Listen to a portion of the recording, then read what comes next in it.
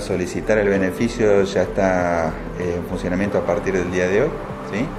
Em, la página es tec.chubut.gov.ar.